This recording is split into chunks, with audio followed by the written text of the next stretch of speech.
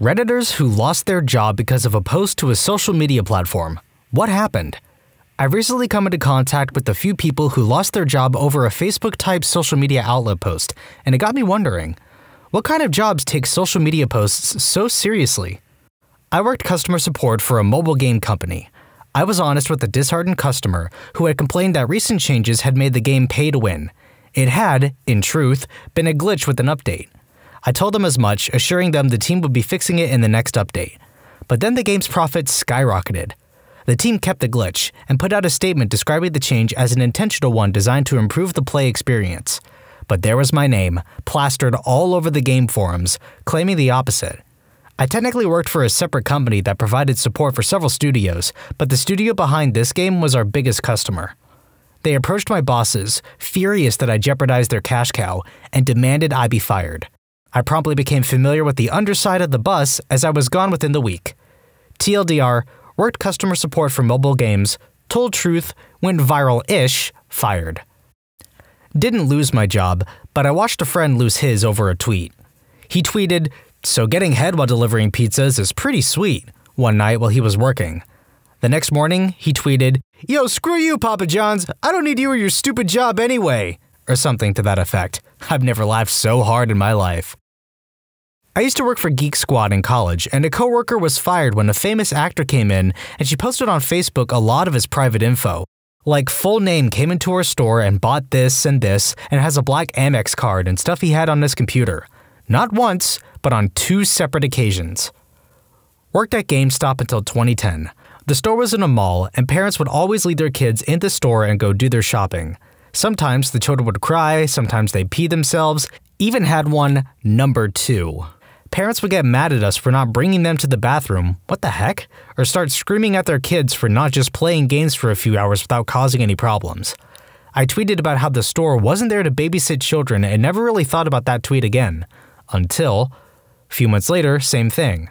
Parent drops kid off in store, leaves. 20 minutes later, an older looking guy is outside the store on his flip phone aiming it at the store. He's creeping me out, but I continue offering pointless warranties to customers while waiting for my next break. And then I noticed him walk near the entrance of the store and ask that kid where his parents are. This seemed really fishy, and the guy looked beyond suspicious. I was thinking he could be a kitty diddler, and I was right. He gets the kid to go with him, I call up mall security so they could check it out, and they caught him before he left the mall. He was arrested. The kid was crying, asking for his mom, who mall security could not reach because, as it turns out, she went to some stores outside of the mall area and she didn't actually come back for another two hours. At which point, she threatened to sue me, GameStop, the mall, etc. Security guard lady told her that child services were called. They all walked away. That was the last time I saw them. Few days later, district manager DM shows up in store and I was fired on the spot because that lady made a complaint. DM found my Twitter and informed me that my approach to yesterday's dilemma and my tweet about how GameStop isn't a babysitting service has made them believe that I don't have the quote GameStop spirit.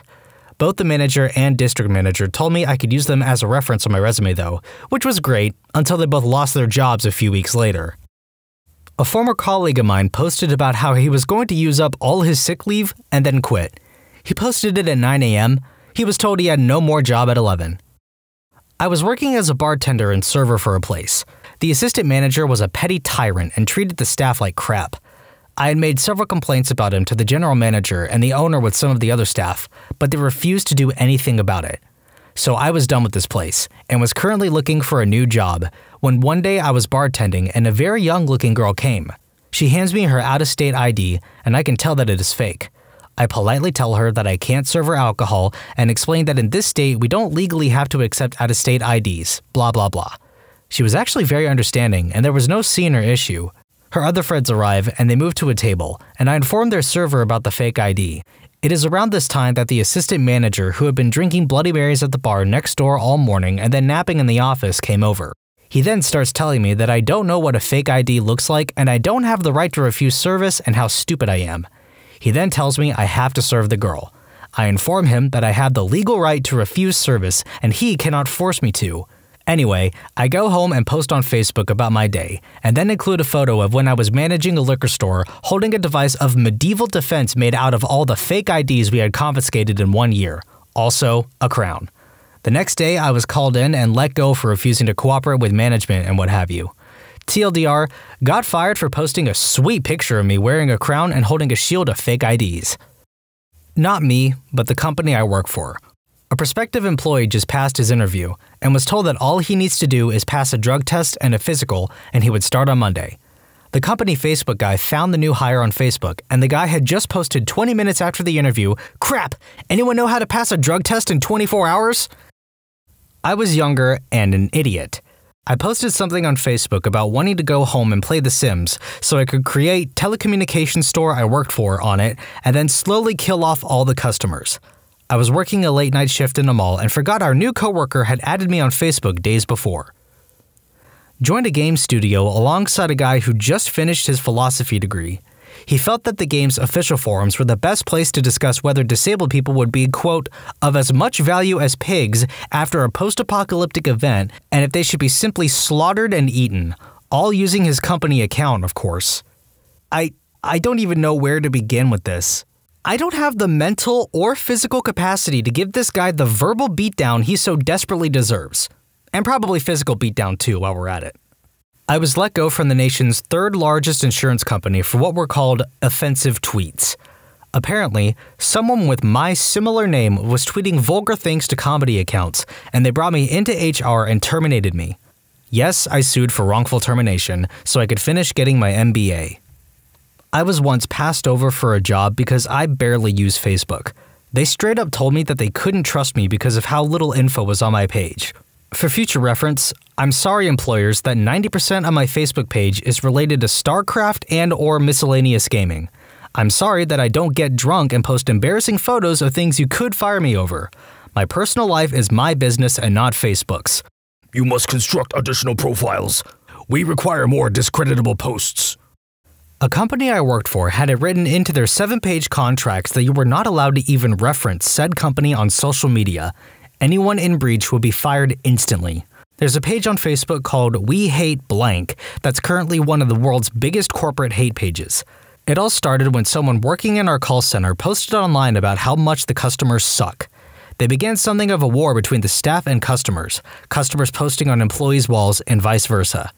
The company was slash is a major player in its market, essentially had a monopoly, and there was a noticeable drop in sales that year.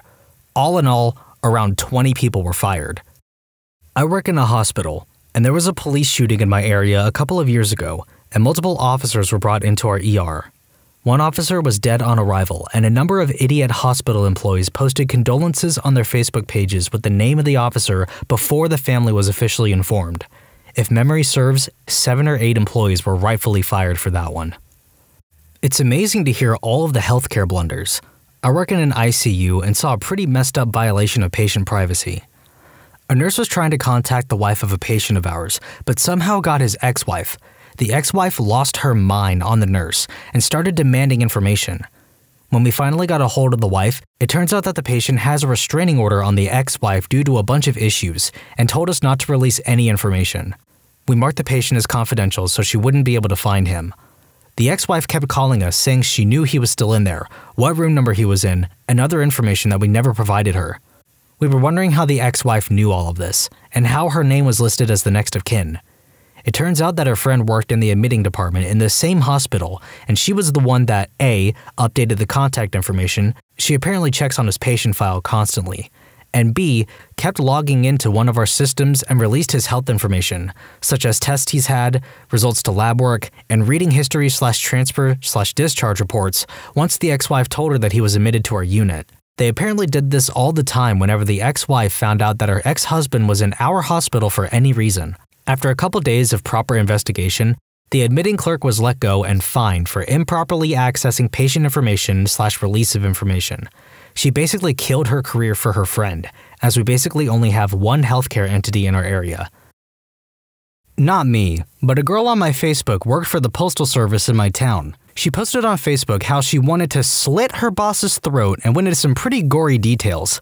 Then, about five hours later, she posted another status about how the feds showed up at her house and that one of her coworkers had showed her boss the status and she was now fired. She's obviously really dumb and trashy.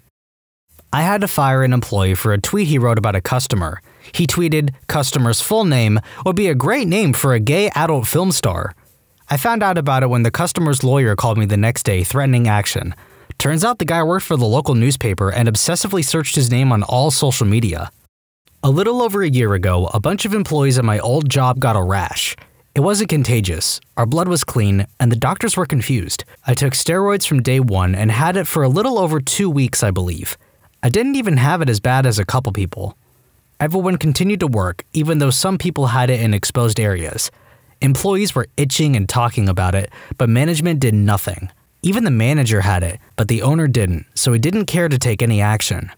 Well, I posted a picture of my rash on Reddit and gave absolutely no information on where I worked. It got to the front page of r slash WTF and a coworker saw it and obviously recognized it.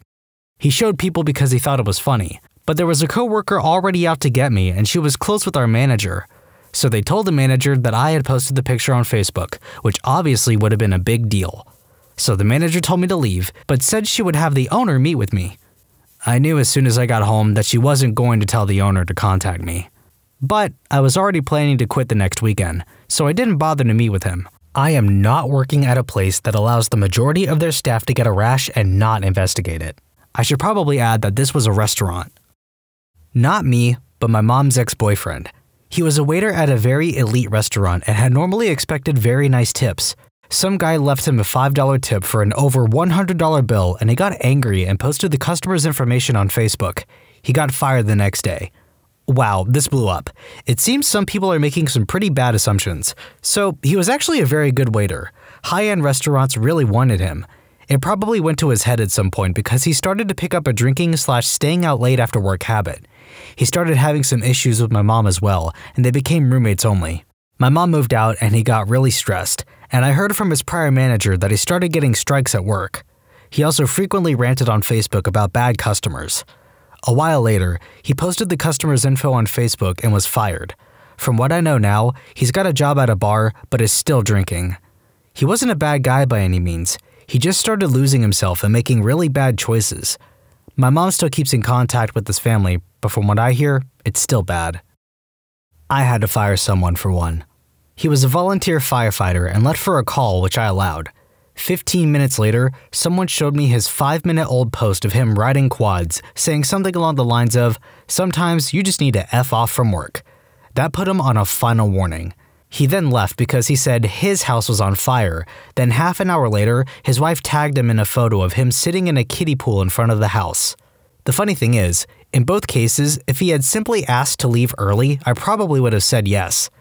To clarify, this was over a few different days, a few weeks apart, and he worked for me, but also volunteered as a firefighter. The fire chief also found out about this and dismissed him from that position as well. This guy had a few issues, needless to say, and honesty was not something with which he was familiar. My dad was in a similar position. The guy asked to leave early, my dad said yes. Then a half hour later, the guy posted that he was in the emergency room. We later learned that it was because he tore his urethra after he stuck a screwdriver in there. Edit. It was a Phillips. Oh my god, why is that so important to everyone? Okay. Reddit? Hi. It's me the guy reading these posts. Don't stick things in your dingaling where they don't belong. I remember reading about a guy who shoved a caulk gun up there one time, and I still cringed just as hard. So, dingling havers of Reddit, please take care of yourselves because I don't want to have to read more about your trauma. It costs zero dollars to be nice to yourself. My female friend, 18, was DM'd through Twitter by the news presenter, 37, of our city. He was talking about her beach pictures and how she is really pretty and how they need to get together. She ended up telling him that it's pretty ridiculous that he's trying to get with her. He lost his job later that week.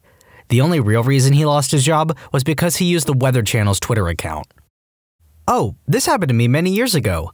I was on the job a week at a law firm and had to ride with one of the female employees to the UPS store. She was a terrible driver and almost wrecked multiple times. I posted on Facebook, one week on the job and my coworker is trying to kill me. Worst driver ever. The next day, I was called into my boss's office with a girl sitting there with an expressionless look on her face, and there was a printout of my post. It was awkward, and they fired me on the spot. All of my account information was also set to private, so they figured out a way to check my activity. former Chipotle manager here. As many of you know, Chipotle gives away free crap on Halloween, so it's a mandatory weekend for everyone to work. Well, one of our employees called off that Thursday saying he had swine flu. Right. Of course, he posted pictures of his weekend partying on his Facebook, upon which he was friends with our kitchen manager, general manager, and district manager. Per company policy and common freaking sense, you can't return to work from serious contagious stuff without a doctor's note. So he shows back up on Wednesday, acting all fine and saying the doc cleared him. Oh, but his mom threw his release note away. Too bad, buddy. We need that crap or you can't work. Since we didn't know when he would have it, we only gave him one day on the schedule anyway. So then his mommy calls me and asks why he can't work. I ask her if she went to a restaurant and found out a cook hadn't proven he was clear from having swine flu, would she eat there? She saw my point. But it's not his fault she threw away the note. They were remodeling. I asked, why can't the dog write a new one? Well, he went on vacation. Couldn't the receptionist or a PA get them something? She huffed and hung up on me. The next day, he puts on Facebook Dear Chipotle and managers, instead of cutting hours on someone, why not grow the freaking balls to fire them outright? Suck my dingaling. Pretty easy to let him go after that. I got fired from an internship for posting on Reddit before. It was a very small environmental engineering consulting firm. We were doing work on a site that had lead and arsenic contamination on it. The site was very dusty, and if it didn't rain for a few days, the dust would often kick up and blow onto the street next to the site, which happened to be the main road in this semi smallish town. Someone mentioned on Reddit, in a totally unrelated way, that they were from this town. I made a mention of the contamination and told the dude that if he ever saw dust coming off the site that he should contact the engineers which were housed above one of the local bars. Apparently, this guy didn't really want the site to be redeveloped at all because of the already high congestion in the surrounding roads, and he called and complained and mentioned my post on Reddit. The company was so small it was obvious it was me who posted it, and I fessed up about what I had said and immediately deleted the post. Even though I didn't do anything illegal or even remotely immoral, I was fired because I was seen as a liability. Screw that. People deserve to know if the dust they're breathing in could give them cancer. I moved on to a different field, marine biology, and haven't even remotely looked back. Content warning good old fashioned racism ahead. A girl I know was a nurse at a hospital and got fired for posting things on Facebook such as, So sleepy here in the ICU. Will someone please code and give me something to do? Hashtag, is that bad? I'm not trying to offend anyone, but I have to ask. Is it like a Native American custom not to take a dump at home? Is it like an offense to their husbands to dump at home? Every time I go into a public bathroom and it smells like someone died in there, a native is washing their hands. Literally every single time. Like, lay off the Navajo tacos. the dumbest part about it was she was tagging the hospital she worked at in her posts. If you have to start your post with, I'm not trying to offend anyone, but, there's a good chance you're probably going to offend someone. Or just straight up be offensive under the guise of asking questions. I remember hearing a story about a young teacher in my province getting fired for posting vacation pictures to Facebook bikini, margaritas. A dipstick parent or teacher reported it, as any uptight group of PTA mothers would want to defend young eyes from that. Oh, we can't have our children gazing upon such heresy, having fun, enjoying yourself. It brings torment to the soul. Oh! I didn't get fired, but I did get written up for a post on Facebook. It was about five years ago at my old job. Spring just started, and it was the first day it was in the 60s. On lunch, I posted something like, What a beautiful day. Can't wait to get out of work and enjoy it. Well, that didn't go over well. Funny thing is, I wasn't Facebook friends with anyone from work. They had one guy that would creep on people's Facebooks. This is when I learned about privacy settings. He told the boss, and I got pulled in the office. They basically asked why I didn't like my job and why I couldn't wait to get out of work. I was like, it's the first warm day in what feels like six months. Of course I want to be outside. The reason I got written up was because I was, quote, on Facebook at work, even though I was on lunch. Bunch of idiots worked at that place. It's kind of surprising how delusional bosses are. Oh no, he might want to get off work and enjoy a nice day. Call him in! We must investigate what it means to be human! When you subscribe, make sure to hit the bell to turn on notifications. Put the playlist on in the background to finish listening to all the stories, linked at the top of the description. And if you like Am I the Genius, give Am I the Jerk a shot, linked in the description too. Either way, thanks a lot for watching, and we'll see you guys next time.